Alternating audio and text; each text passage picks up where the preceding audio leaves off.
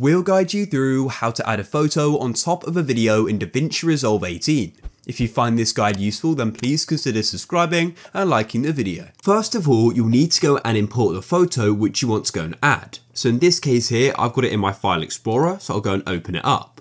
And then what we need to do is go and drag this into the media pool. So click and drag it in like so, and you've now gone and imported it. And then what you need to do is go and click on it and then drag it in on top of the other video just like so.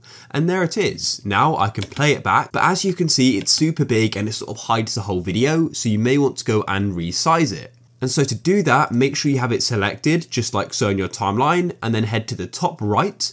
And now we can firstly start with the zoom. Hover your cursor over the number and then click and drag while holding it. And as you can see, you can then zoom it in and out just like so. So let's say I want it to be about this size.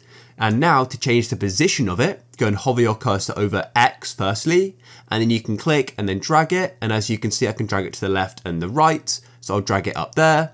And then I'll go over to Y and I can then drag it up and down. So I'll then go and drag it so it's in the top left, just like so. You can then also go and adjust the angle as well. If you guys found this useful, then please consider subscribing and liking the video.